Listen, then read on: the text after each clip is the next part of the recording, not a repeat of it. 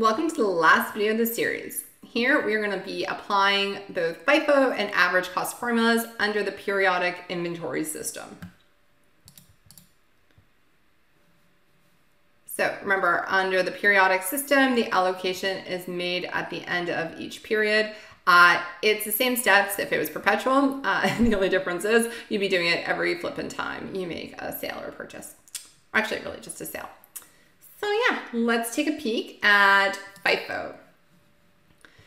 We are going to be doing something that looks like a very messy version of this because I'll be walking you through an actual example with my less than lined up and perfect, but effectively we'll be doing the same thing. We're gonna be figuring out what are the costs available for sale.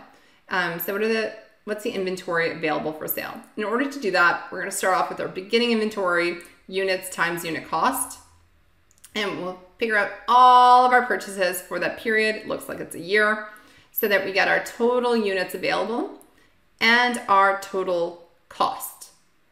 Then um, we're gonna figure out, cool, when uh, did we make some, or pardon me, um, what were our total sales and what was the unit cost for those sales? Uh, we're gonna determine our cost of goods sold, and um, we are going to, interesting. Um, we are going to um, figure out our cost of goods sold. And um, then we are also going to figure out um, our ending inventory. Really interesting here. So I said interesting because I just took a peek and um, it's, it's same, same, but different. So if you want to, you can figure out your ending inventory. So here, um, this question would have said, hey, you have 450 units left. Cool, um, take 400, you add 50 up here. I tend to go sometimes the other way. And that is, I tend to say, okay, what was sold first? This, then this, then this, then this. Really, because your ending inventory plus your cost of goods sold equals your cost of goods available for sale, you can figure out either your ending inventory or cost of goods sold first. Really, whatever is easier to go backwards or forwards. I also call this the in equals out rule um, because if you think about it, your beginning inventory plus your purchases is always going to have to equal is always going to have to equal your cost of goods sold, I know, um, or sales. Um, I, I, just call them cost of goods sold because sales makes it confusing, um, plus your ending inventory. Because effectively, this is another way of showing your inventory T account, right? So if you look at our inventory T account, which I'm going to snag here, beginning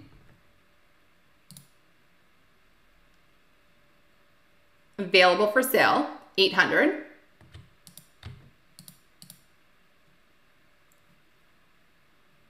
Out, 800. So I call this like in minus out.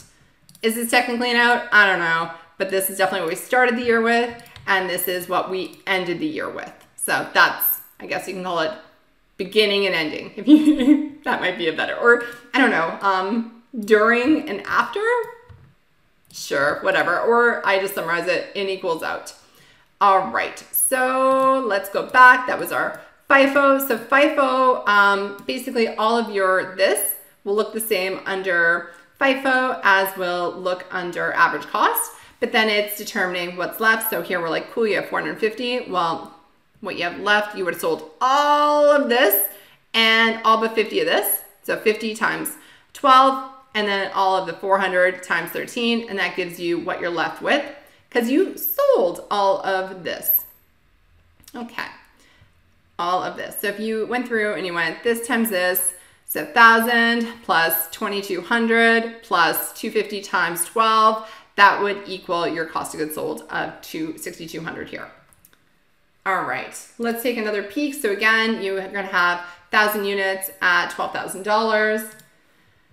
1,000 units, um, $12,000. Heck, that's $12,000 divided by a 1,000 equals $12. Um, that means if you have 450 or $12 per unit, therefore if you have 450 units left at the end, 450 times 12 equals 5,400. And you could also do the same thing. So 550 times 12 equals um, 666 $6,600 um, for your cost of goods sold. Um, 6,600 plus 5,400 equals your 12,000 available for sale. All right, and if you're like, oh my goodness, I love weighted average, yes, yes, I agree. All right, let's take a look at a question. So um, we are going to be applying both the FIFO and the average cost methods. For average costs, uh, use unrounded numbers. Have a peek through this, have a read, um, set up your spreadsheet, give this video a pause, and when you come back, I'll be walking you through how we got the answers and you can compare how you did. Talk soon. All right, let's see how you did. First, let us do the calculations for all the purchases. So first month of operations, meaning you do not have any beginning inventory. Fabulous. Uh, now you made three purchases and I'm just gonna separate this into units price per unit and then total cost. Cool. All right.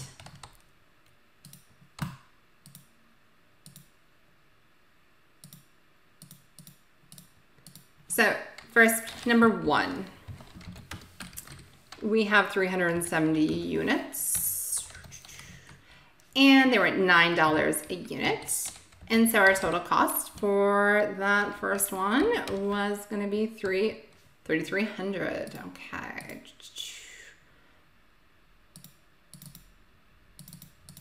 Love it. Let's do number two.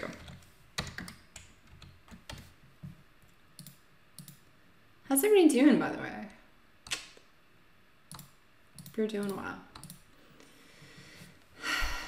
This is um, going to be the longest stretch is the time between um, now and reading break. But here's the thing the material is like such that we're doing like an account or two accounts every week. And I think it'll be a fun way to like get a little bit more depth versus now we're kind of filling in the framework that you built. So stick with it, eye on the prize. And I have no doubt that you can uh, hit your definition of success in this course. So small incremental work. All right, number two, 700 units at $12 each, and that's gonna be a total of 8,400. Number three, got 800 units at $11. What are they selling? I wonder what they're selling. These baseball hats. All right, uh, 8,800.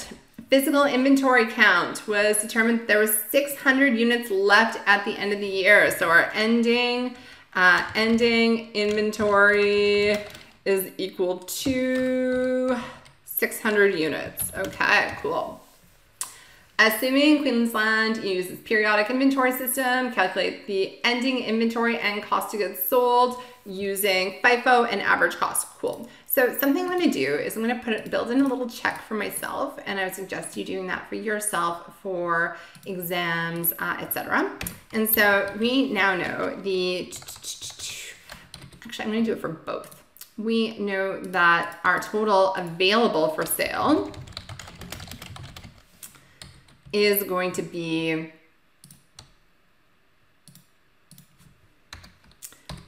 one thousand eight hundred and seventy units that are worth twenty thousand five hundred and thirty dollars. Cool. And at the end, I'll just move this over here. And at the end of the year, I have 600 units left. So I'm just gonna line up my like little units with my cost. And so what I'm being asked is what is my um, what is my cost? So what's going to show up? Because I'm not going to put 600 units. I'm not going to put 1870 units in my financial statements. I'm going to put the financial cost, not the units. Okay, so let's do this under the FIFO see under the FIFO, uh, what is the cost of my, so let's just make this a little bit more. A is going to be FIFO, and I want to know what is my costs for ending inventory and costs for um, cost of goods sold. I know, I know. No, we're just gonna call it cost of goods sold. We can't do cost for cost. Okay. So, and we'll do this again for our weighted average below. All right, so cost for ending inventory, 600. Oh my gosh, I love this. So we have 600 units. We have 800 units where the last one sold. So that means that all of these went out. Oh, um, so I love that. Like I, I absolutely love that because it means I get to be lazy. Because it means that all of these 600 units are going to be at $11. And so that makes me really excited because I know that they had to sell this before they sold this. And then they sold 200 units of the 800, which is why we have 600 units left. And so my cost of goods sold, and you know what, just, just to line up the costs with the units, we'll put them here. So cost for E or ending inventory, um, whatever.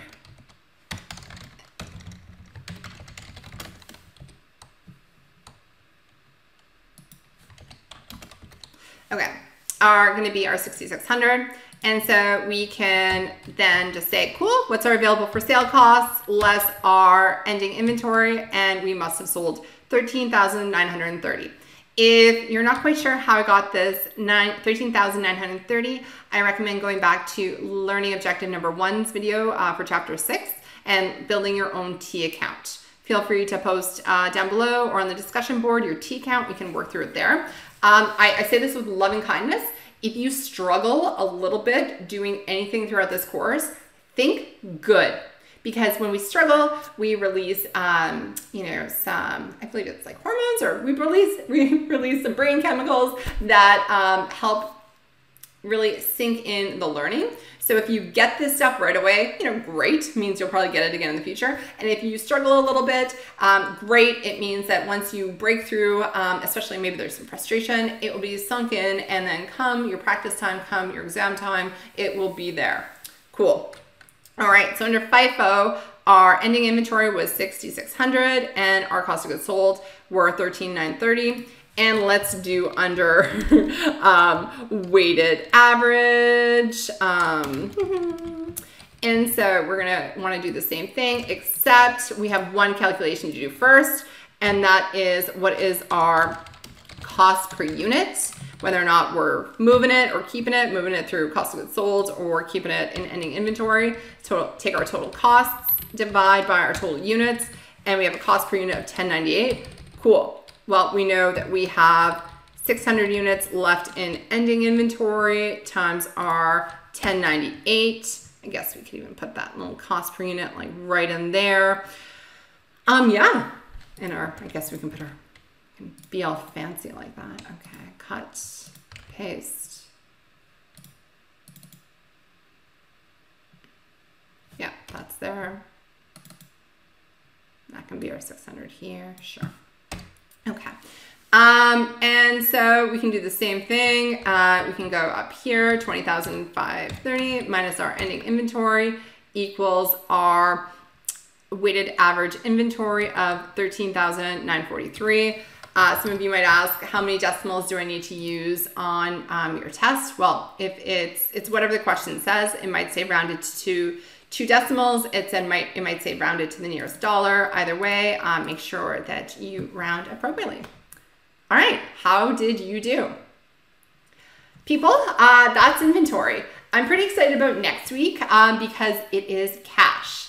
And, you know, cash is the lifeblood of business. Cash is what we use to buy inventory. Cash is what we earn when we sell inventory. Cash is things that we pay our employees with, and cash is what we use to dividend out, um, you know, uh, excess uh, earnings that we wish to repay back our shareholders. Cash is what we use to pay debt. Cash is what we, gosh, cash is cash, and you know, it just looks fun. So, have a great week, and we'll talk soon. Thank you so much.